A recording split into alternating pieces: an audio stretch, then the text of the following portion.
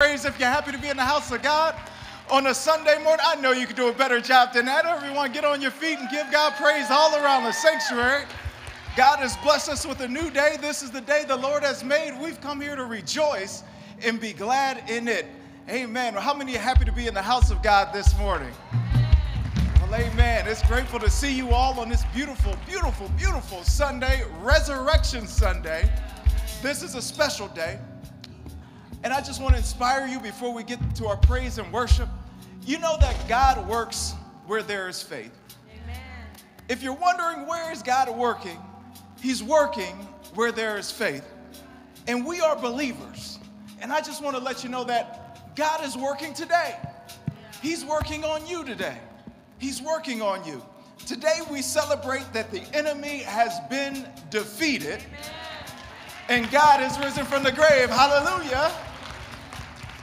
You know, Deuteronomy says, The Lord your God, who is going before you, will fight for you as he did for you in Egypt before your very eyes. The interesting thing is, today we celebrate that the enemy has been defeated, yet we know that the enemy still makes a lot of noise. It says in the scripture, it says it's like a roaring lion, the enemy makes these noises. And the enemy will roar at you and he'll tell you that you're not gonna make it. He'll tell you that you won't be healed. He'll tell you that that door won't open. But I believe that I got some praisers in this house that'll drown out the enemy's noise. Because we believe he has been defeated. Now, if you look around at the natural, what's going on in life, you may think he has won, but we serve a supernatural God.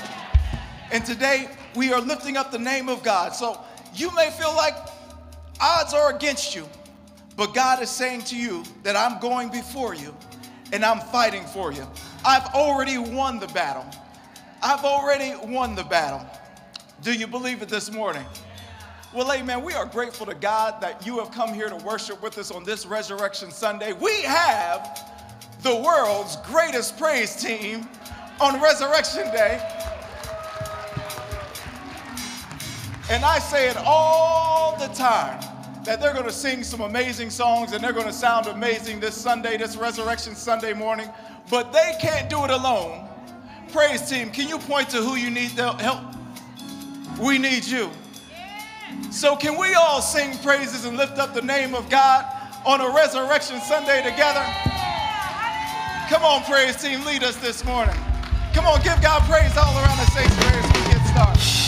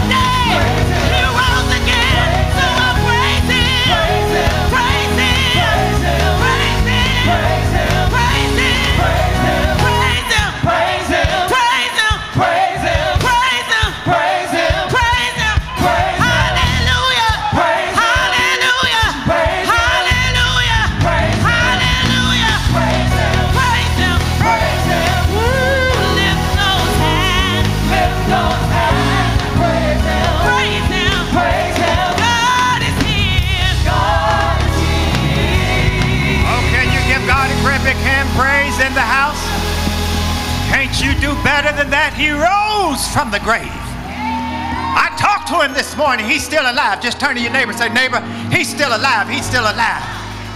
That's trash talk. He's dead. He is still alive and well on planet Earth. And he told me that you're going to be all right because he's still here today. I'm just so glad to see all of you here today.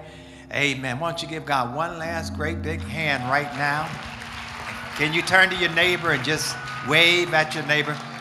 And you may go to your seat, and we're going to have our, uh, I think I, amen. You might have me too loud up here, uh, Dwayne.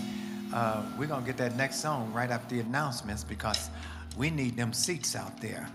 And we're going to invite the kids to go out, but I don't want them to go out until they see the marvelous speeches that they have. So you guys can sit down for just a minute, but I'm going to call you right back up. Amen. Amen. Terrence, you can dance with me today. We're going to dance today, buddy. We had 17,000 hits on that last one. We're going for the 40,000. Amen. You must have turned my mic down or something you did. Amen. Watch these kids and the announcements today. Amen. Lights, camera, action.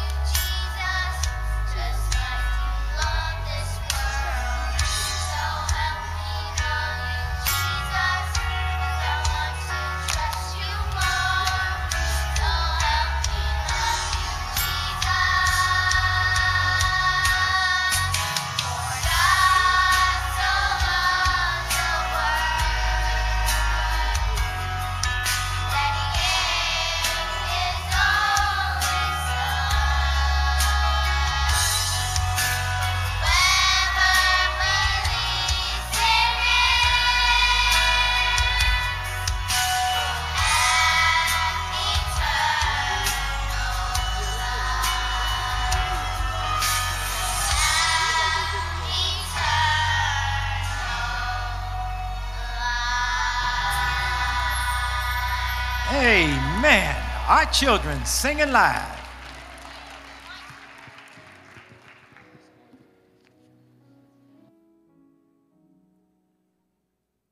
All of our student ministries are dismissed at this time. Kids K through 6 can exit to the right of the stage, and all middle and high school students can exit to the left of the stage. Amen. We got to go back to the video. We didn't see the kids. Hold up, hold up, kids. Just stand where you are. Freeze. Freeze, kids. Kids, freeze. Freeze. Freeze. Nobody moves. All right, let's see the kids so we can let them go after this. Amen. That was the, I asked Larry, I said, was that a tape of those kids, uh, somebody else singing them songs? They said, no. He said, that was our kids. My goodness, they sound like the pastor. Amen. We're going to hold the kids, watch it.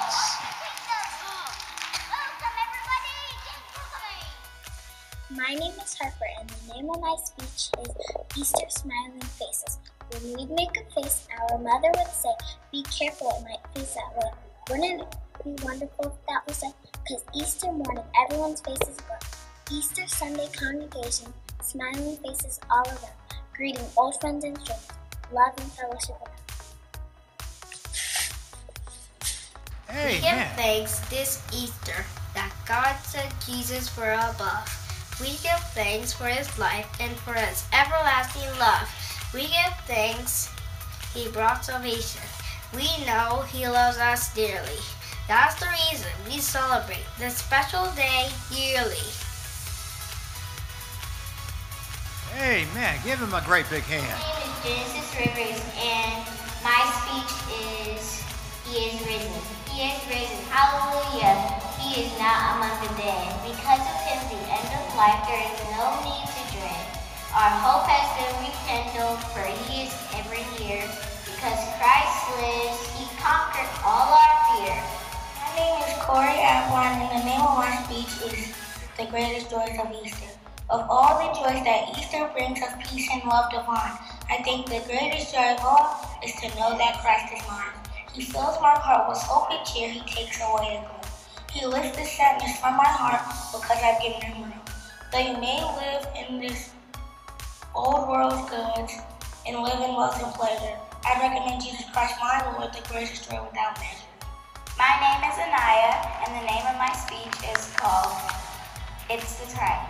It's the time to dress up. I think you'll agree, for Easter's the time to dress up, you see. It's the time to give thanks for all the beauty and worth, all the goodness and kindness there is in the earth. It's the time to sing praises about what God gives. It's the time to tell others that Jesus lives. My name is Caitlin. The title of my song is My Friend. I have a friend I hope you know you've heard about from long ago. You see him in the streets over the ocean calming seas. This is a special time you see. He rose from the dead for you and for me. What caring about his great and small, he paid the price in full for all. On the cross of Calvary, he set our sins and boundaries free. Washing in the blood of the Lamb, God doesn't see sin, but he sees him. Thank you, Lord, the all of friend, to stay with us to the very end. Rising from the dead for you and for me, because I'll have the victory. Chase. My name is Chase. And um, my name of my speech is Easter love. Easter love. No Easter egg, no Easter toy. That's Easter love for every girl and boy. Ain't not much to say. God bless you good. Happy Easter Day. My name is Samara, and the name of my speech is called God Does Kill. Easter means love. God's love for people everywhere. Easter tells us that God really does kill. Hi, my name is Meredith Thompson, and this is my speech, Renew Spirit. Sad and lonely was Good Friday, but joy came on Easter Day. Christ the Lord has risen. The stone was rolled away. May you have God's blessing on another Easter morning. May a renewed spirit of each of you be born. Hi, I'm Olivia Patterson. Christians, lift up your eye. See him from the grave will rise. The is overstate this power.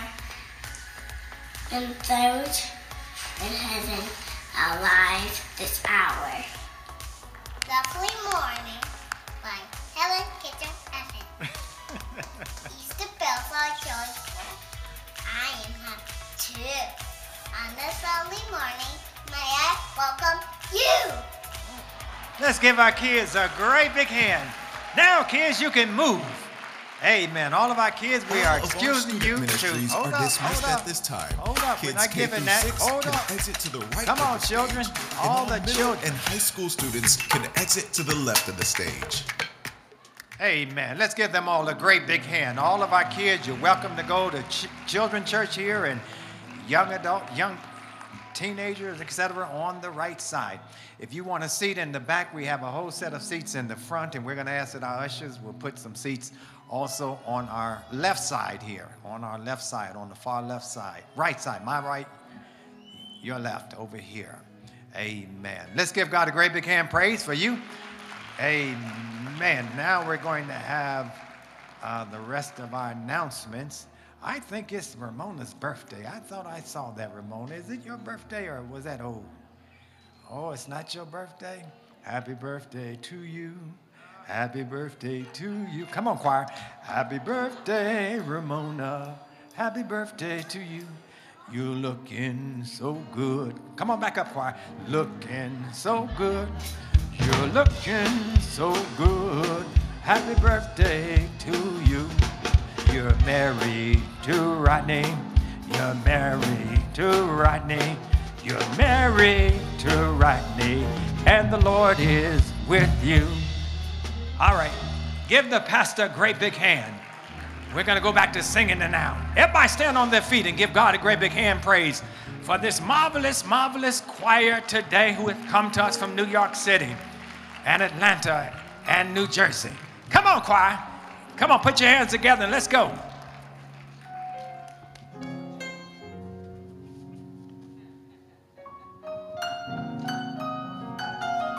Oh, you may be seated.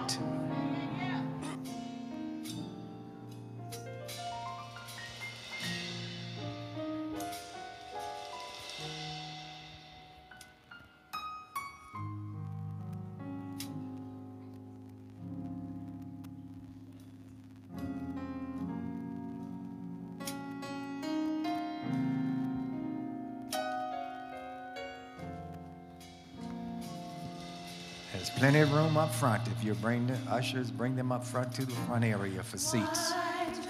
You're okay on the chairs at this point?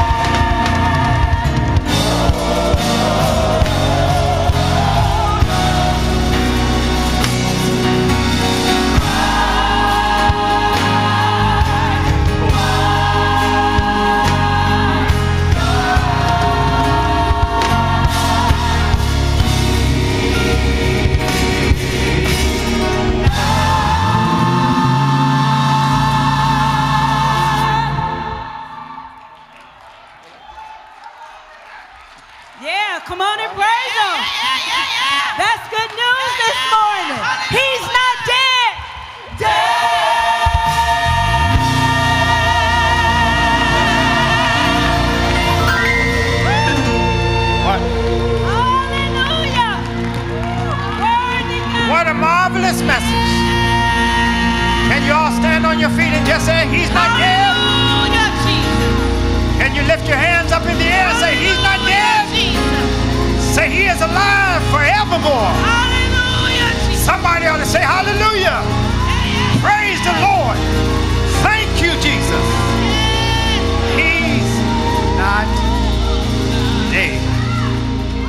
As you bow your heads in the word of prayer, even now, as you bow your heads in a word of prayer, even now. Anybody here to talk with him this morning? Anybody here to talk with him last week? Anybody had a conversation with him? You've got it too loud. Anybody had a conversation with him recently? He's not dead. He's still alive. I know because every every day last week I stood in my meditation corner in quietness.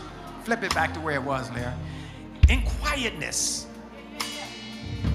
And in his presence, he said, everything will be all right. In his presence, he said, You're going to be fine.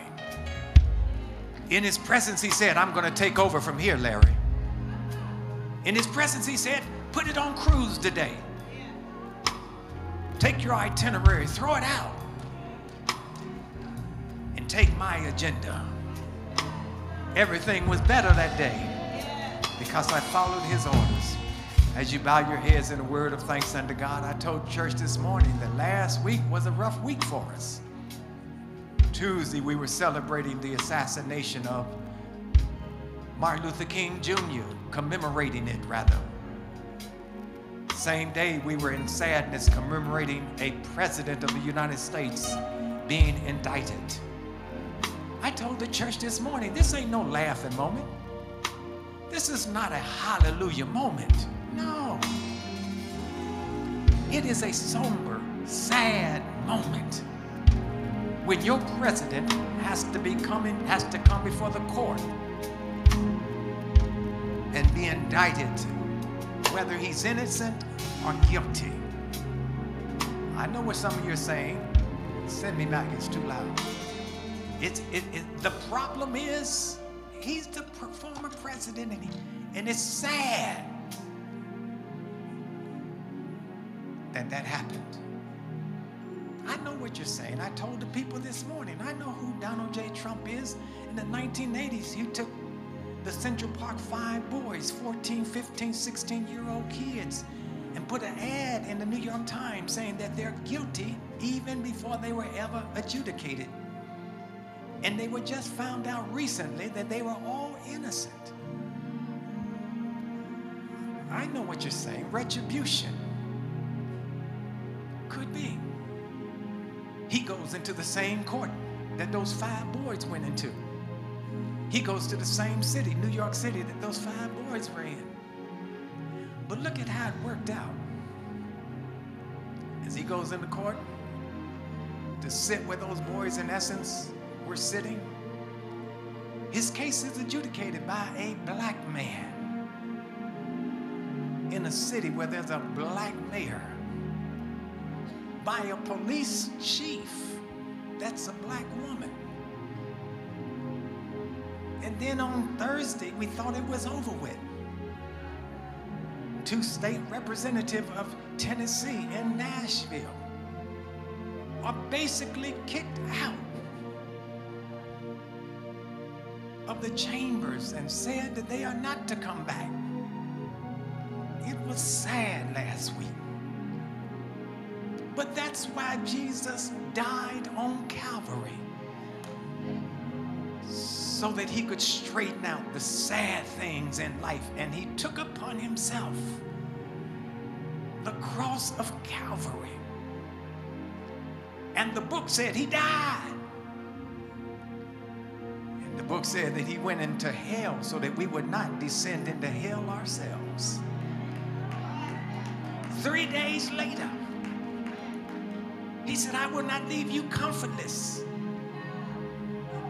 gets up out of the grave,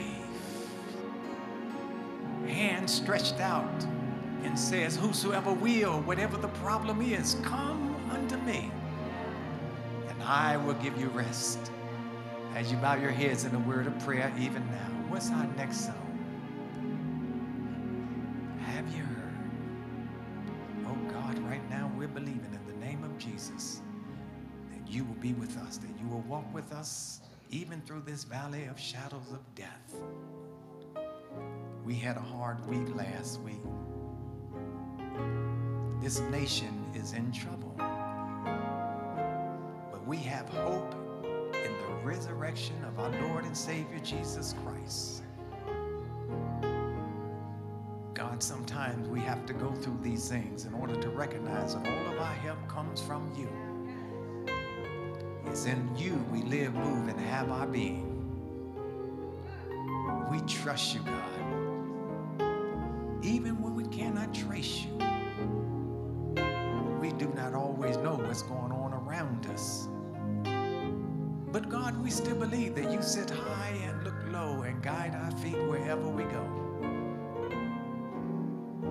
Us that righteousness lifts up a nation.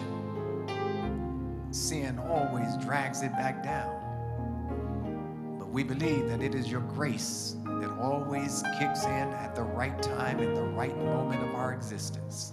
And we just want to pause to say on this Easter Sunday morning that we thank you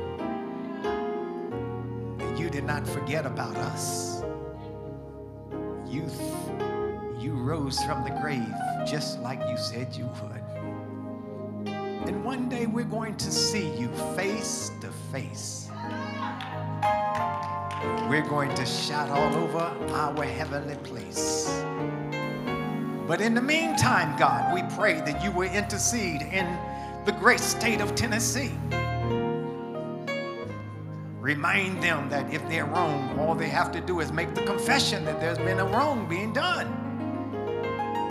Those people who are concerned about shootings and death and guns, we pray, God, you will let them know that weeping may endure for a night, but joy will come in the morning. That somehow you'll straighten out the wrong things in the crooked places.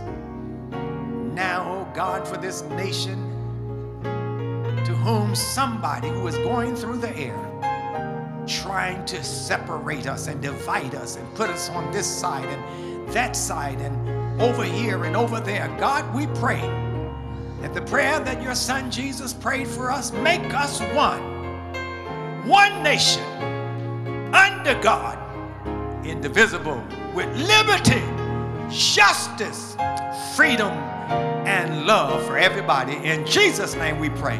And all the people of God shouted, Amen. Come on, choir. Sing that song for us quickly. You may go to your seat.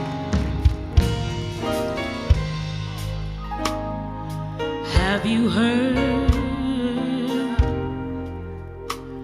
about Jesus? He died on Calvary.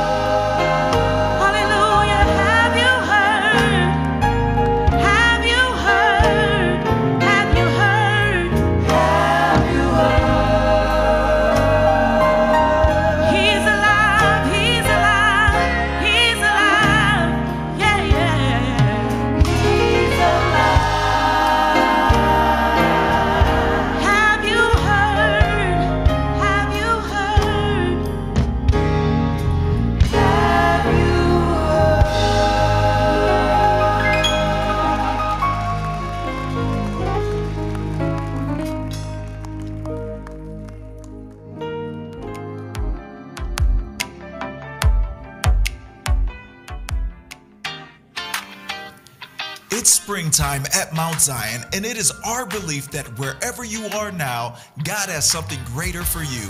We believe in the next generation, and we embrace the generations of old.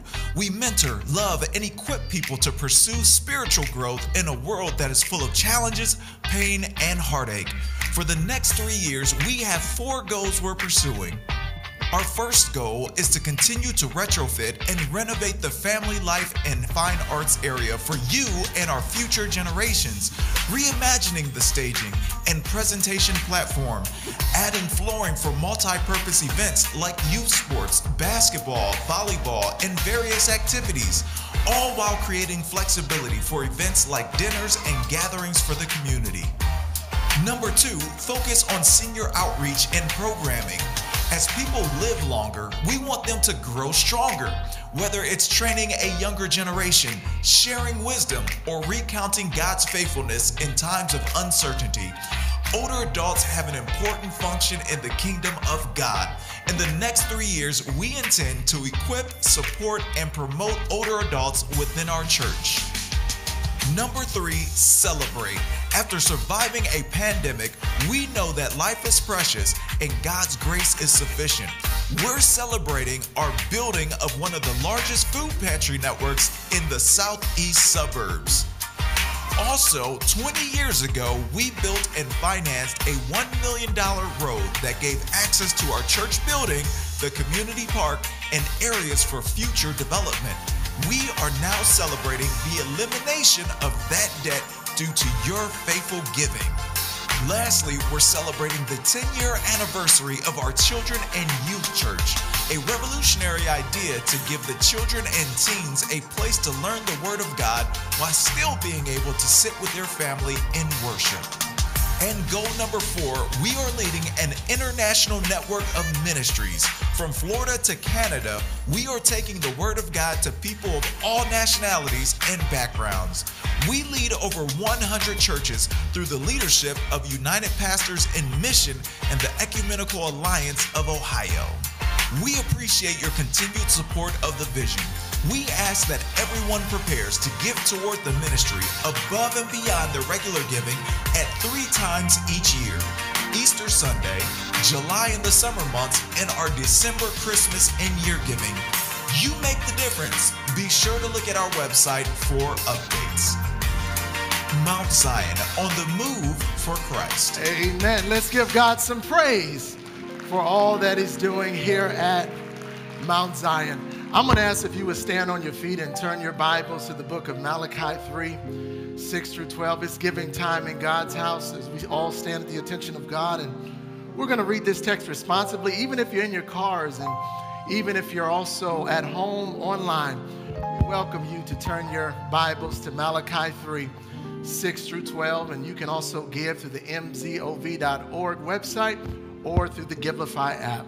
Let us go into the Word of God. The Bible says this The Bible says, For I am the Lord, I change not. Therefore, ye sons of Jacob are not consumed. And you say,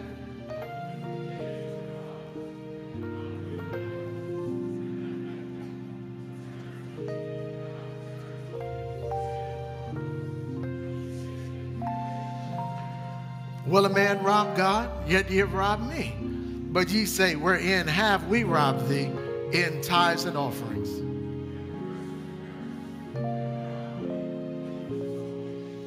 Bring ye all the tithes into the storehouse, that there may be meat in mine house.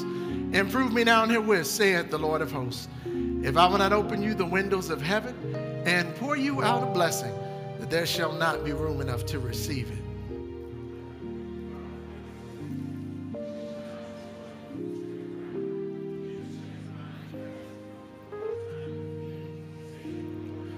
Let's read 12 together. And all nations shall call you blessed, for ye shall be a delightsome land, saith the Lord of hosts. Will you take a moment to bow your heads in a moment of thankfulness, thoughtfulness, thinking unto God, thanking God for all that He's given you? We know today that all we have and all we'll ever be is because of the goodness and the graciousness of God. If it had not been for God that was by your side, think about where would you be today? Where would you be? You would not be where you are today because God's grace and God's mercy helped you and brought you through. I pray right now that you would just say, Thank you, Lord. I pray right now that you would just say, Hallelujah. This is a time to be cheerful when we give. We give because we know that God will bless us with more than if we had kept everything even unto ourselves. Let us go to God in a word of prayer and a word of thanks today. Heavenly Father, we love you. We lift you up on this special Sunday, Resurrection Sunday, where we celebrate the great sacrifice that Jesus made on the cross and how he rose from the grave. What a day to give back to you, knowing and believing that all we have and our future is sealed because of what you've done for us. Heavenly Father, bless the giver as they give today, not grudgingly, but as they give cheerfully. In Jesus' name we pray. And all God's people said, Amen and amen. I'm going to ask all of those that are bringing to the tithe and offering baskets. The song says, Celebrate the King.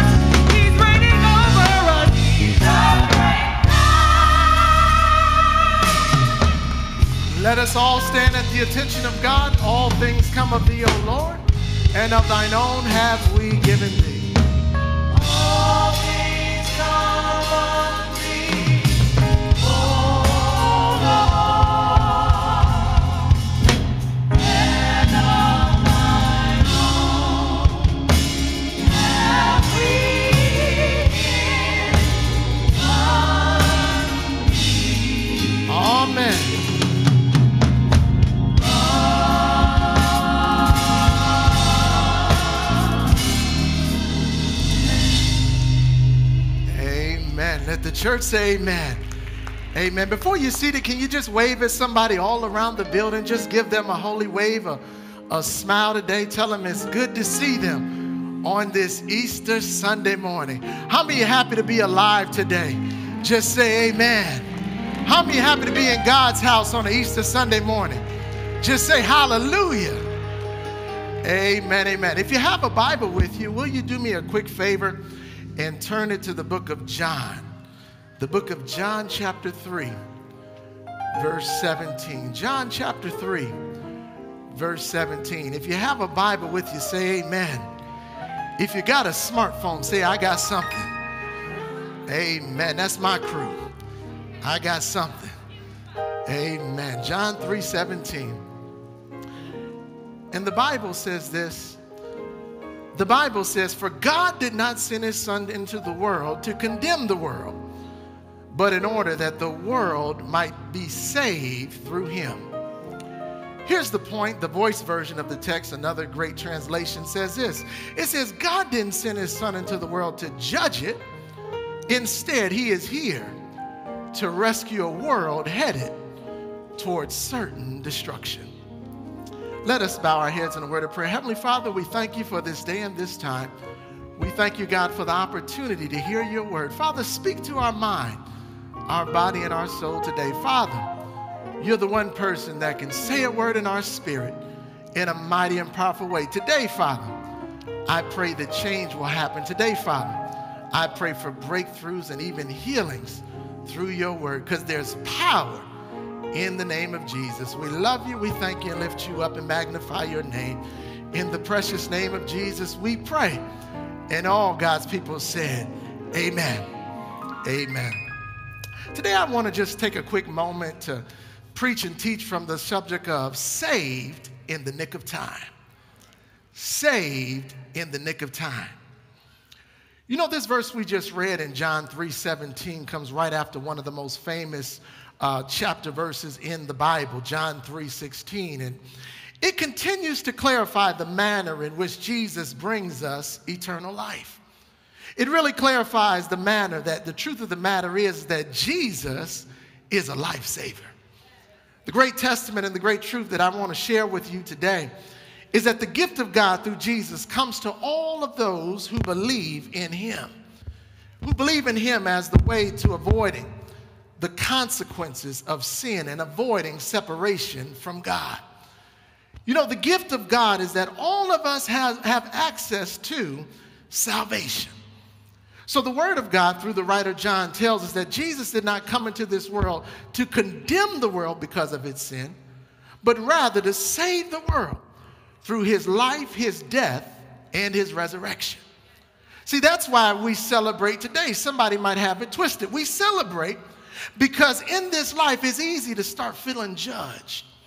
We celebrate today because it's easy in this life to feel condemned, and it's easy in this life to feel guilty. It's easy to sulk in what you did on yesterday. It's easy to feel like you're not enough. It's easy to feel like you're unworthy of, of God's love. It's easy to feel like you're more worthy of judgment. But this verse tells us something that should change our perspective on life. It tells us something very important. It tells us that regardless of who you are or what you've done, you are loved by God.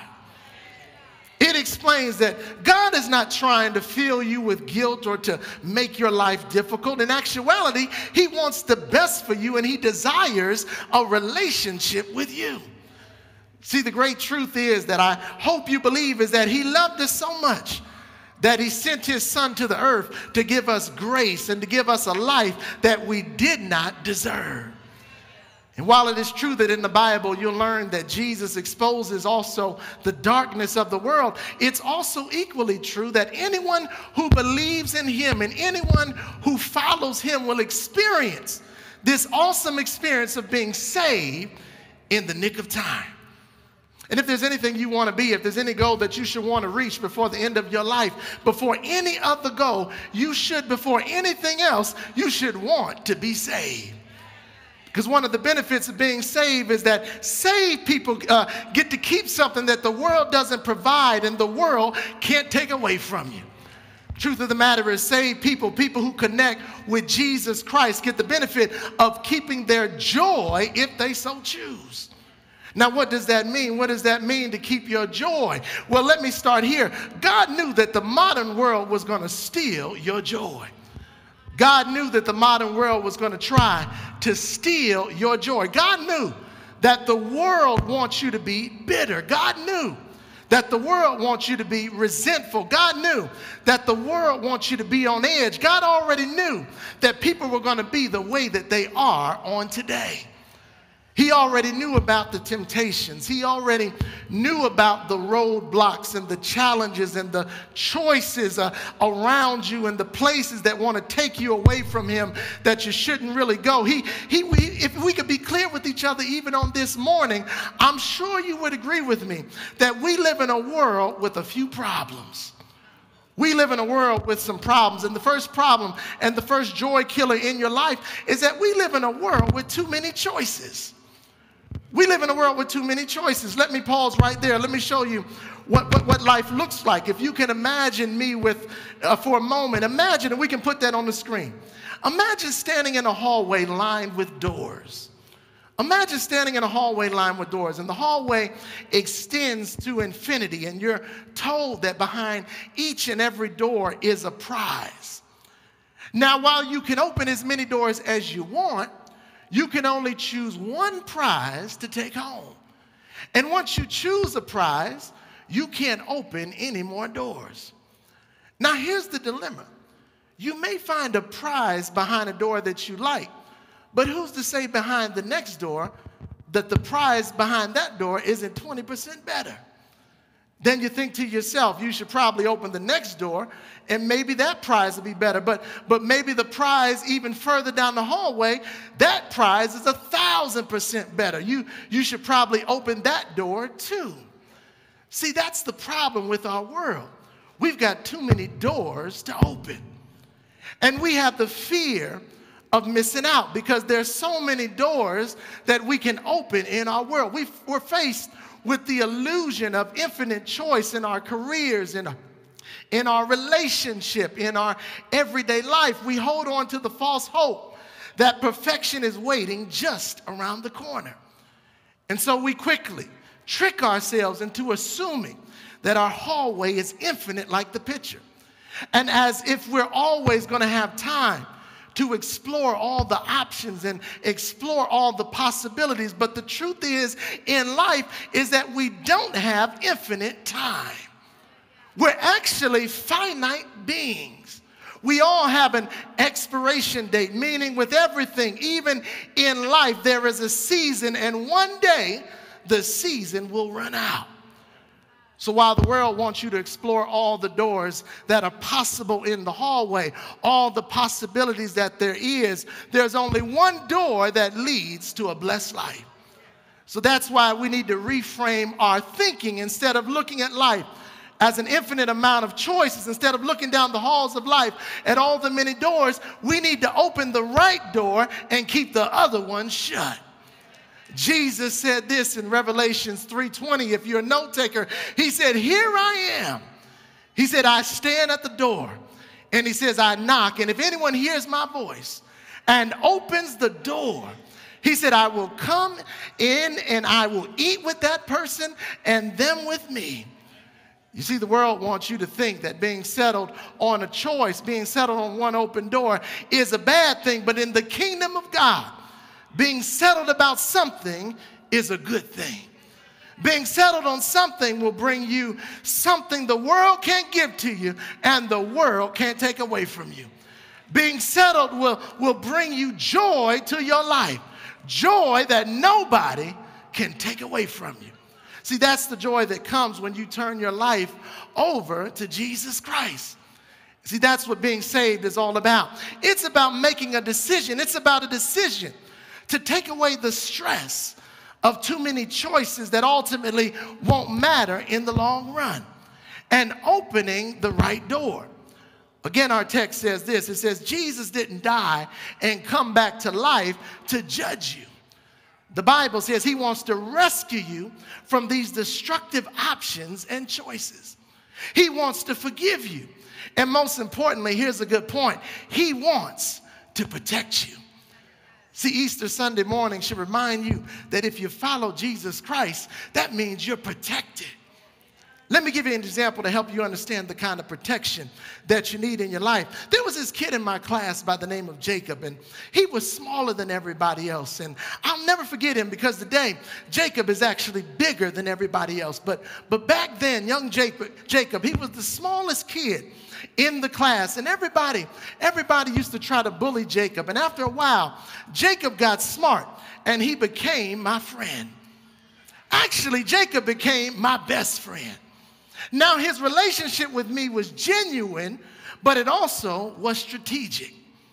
I took him as my little brother, and, and he took me on like a big brother. And, and see, he knew if he was cool with me, and, and, I, and I was a little bigger than him, a little stronger, and I played football and baseball and wrestling and all the sports. And he knew if he was hanging with me and my friends, nobody was going to mess with him. So when we'd be out playing in the neighborhood, whenever the bullies would come around and they would try to mess with him, he'd make sure that he stayed close to me and my friends. Because as long as he was with me, they never were going to mess with him. He even started to milk it a bit. He'd be hanging out with us, and as long as he was with, was with our crew, he could, he could run his mouth and he would stick his tongue out at the other kids and he would laugh at them and everything else. And he got so comfortable when he was with us. And the reason, again, he could be so comfortable was because he knew that if he stayed close to us, he stayed close to this group of friends, nobody would be successful if they tried to harm him. And see, all we need to do is we've got to take note out of Jacob's playbook is that it's not about you, it's about who you're connected to. And that's what being saved is all about. It's about staying close to the one who can save you from the enemy. See, the truth of the matter is, does anybody know about the enemy? See, the enemy wants you to doubt God's love. The enemy wants you to feel like all hope is gone. The enemy wants you to think that it's over. The enemy wants you to throw in the towel. The enemy doesn't want you to feel forgiven. The enemy doesn't like that you're in church on today. The enemy wants you to feel like you're farther away from God. All the while, God is trying to say, I want you to be close to me. God is saying, I love you. God is saying, all hope is not gone. God is saying, it's not over. God is saying, don't give up. God is saying, You are forgiven. God is saying, I got some plans for you. God is saying, I've got a future for you. God is saying, I'm going to heal you. I don't know how many folk I got in this audience that need to be healed, but God is saying, I want to heal you. God is saying, I want to deliver you. He's saying, You are a conqueror. He's saying you are victorious. He said, I do have a future for you. Otherwise, you would not be alive today. And the good news is, God sent his son Jesus just to prove it to you. You know, just to make this a little clearer, I remember one day I was traveling with my son, and a bee had got inside of our car. And he was scared and he said, Dad, what are you going to do? And so quickly I started trying to swat the bee and, and I caught the bee with my hand. And my son said, Oh, he's trapped now. And, and so he felt like he was going to be okay. And, and then I opened my hand and, and the bee started buzzing and flying around all over again. And he started to be afraid again. He was frightened. And I, I looked at my son, and what I did was I, I showed him my hand and I, I told my son, I said, Son, you don't have to be afraid anymore. I showed him that the bee was no longer effective. The bee no longer had the capability of stinging us anymore because the bee's stinger was now in my hand. And I told him there's nothing that that bee can do to us now because the bee has lost his sting. And see, that's the message that I want to give you on today on this Easter morning. That's why we need to celebrate our Savior. And that's why we need to make sure that you're saved because when Jesus died on the cross for your sins and when he rose from the grave on the third day, the Word of God teaches that he took the sting out of death and he replaced it with eternal life. So if you know Jesus, you've got access to life beyond tomorrow. If you know Jesus, trouble don't last always. If you know Jesus, healing is on the way. If you know Jesus, the challenges of our todays don't stand a chance for the favor that's on tomorrow. Is there anybody in this place that knows Jesus? If you know Jesus, you don't have to live in a pity party. If you know Jesus, you don't have to stay depressed. If you know Jesus, you don't have to live a broken life. Because what can wash away my sins? Nothing but the blood of Jesus. What can make me whole again? Nothing but the blood of Jesus. If you're saved, this is what you can do. You can touch Jesus. If you're saved, you can touch him. The question is asked, why can you touch him? Because the Bible says that he's not dead, he's alive. You can just look back over your life. You've got all the evidence in the world that he's alive. Who do you think woke you up this morning? I hope you don't think you woke yourself up this morning. I hope you don't think he's the reason that you're not in a hospital today. I hope you don't think you're the reason that you're in your right mind. I hope you don't think that you paid your bills all by yourself. I hope you don't think you drove your car safely here by yourself. It was nothing but the grace of God. It was nothing but the blood of Jesus. It was nothing but what God did in your life. The only reason that you made it from A to B is because Jesus is alive. And just like, just like the woman in the Bible with the issue of blood, he said, Who touched me? Who touched me? She touched him and she was healed. The truth of the matter is, you can touch him even on today. You can touch him. How? How can I touch Jesus? You can touch him through your faith. You can touch him through your prayers. And you can touch him through your praise. Are there any praises here today? Come on, are there any praises here today? Praise destroys walls. Praise tears down the walls of destruction. Praise tears down the walls of failure. Praise tears down the walls of sadness. Praise will break negativity. Praise will build things up. When I start to praise, I close one door and I open the right door to Jesus Christ. Can you give him some praise right now? Come on, stand on your feet and let's praise him. Even today, the Bible says that God inhabits the praise of his people. Can somebody touch Jesus by again giving God some praise? Thank him for saving your life even on today. Will you bow your head? That's what today is all about. It's about being saved in the nick of time. It's about making sure that you're saved. I want to say today if there's somebody in this place that is not saved, I want you to make the decision even on today. If you want to be saved today, I want you to raise that hand high. If you want to be saved today, I want you to raise your hand high.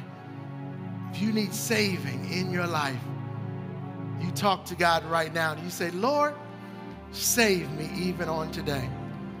Somebody in this place, you need to be saved from a situation. Maybe there's a challenge that you feel that you want God to save you from. We believe today that Jesus wants to save your life from destruction, save your life from the challenges, save your life from the pit of despair even today.